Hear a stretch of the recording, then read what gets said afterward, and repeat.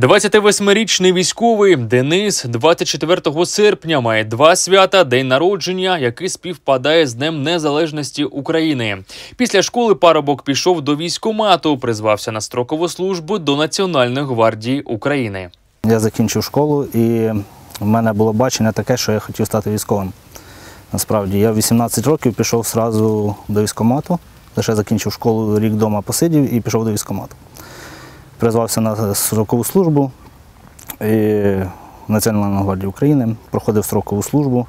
Згодом військовий вирішив допомагати людям в тилу, тож влаштувався залізничником до повномасштабного вторгнення Росії на терени України. Працював сигналістом залізничної станції на державному підприємстві Укрзалізниця. Мою справу входило, коли заїжджав потяг, мені треба було зафіксувати, закріпити і ну, наблюдати, щоб він нікуди не дівся. Деякий час пропрацювавши на Укрзалізниці, тобто це було не багато, не мало 6,5 років, е, почалося те, що у нас зараз відбувається в країні.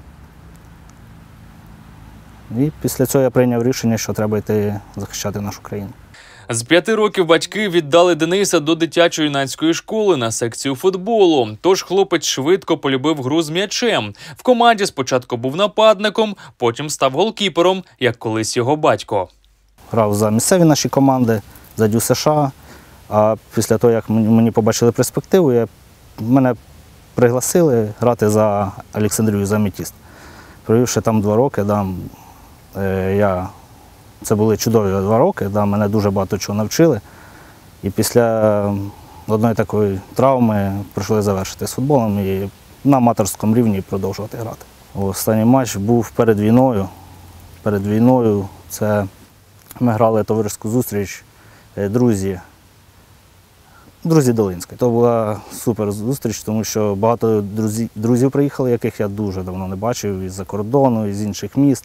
Повномасштабне вторгнення окупанта Денис добре пам'ятає. Після роботи чоловік прийшов додому, ліг відпочивати, прокинувся через вибухи, сирени та крики людей. Це було ознакою військового свавілля Росії, тож вирушив на допомогу країні. Зустрів війну вдома, так я не очікував такого.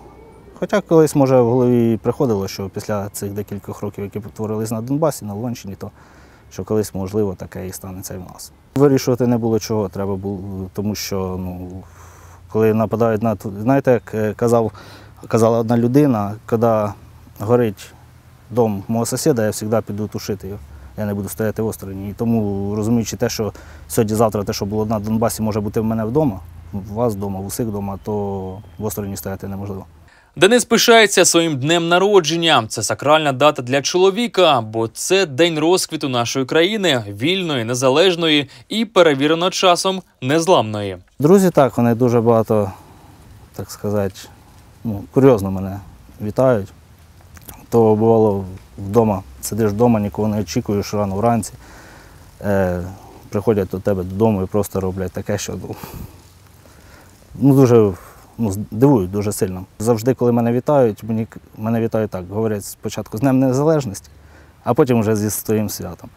І це дуже приємно, тому що ну, така можливість випадає ну, не кожному народитись в такий день. Я дуже цим пишаюся. Військовий каже: наразі не час святкувати. Головне мати холодний розум та пам'ятати про наших героїв, пам'ятати тих, хто віддав життя за свободу українського народу, за нашу землю, за незалежність. В родинному крузі вдома посидіти і згадати, коли на, ну, ми стали незалежними, то так, ніхто від цього не, не відійде. Звісно, якісь ну, там, я не знаю, святкування, то ну, вони зараз, я гадаю, недоречні, тому що ну, не той час. Не очікую ніяких там подарунків і так далі на день народження, тому що головний подарунок це, що була наша перемога. Я це бажаю кожному українцю. Сили, терпіння просто і І все буде Україна. це буде Україна. Олексій Меркулов, Юрій Коропалов, СІБІН.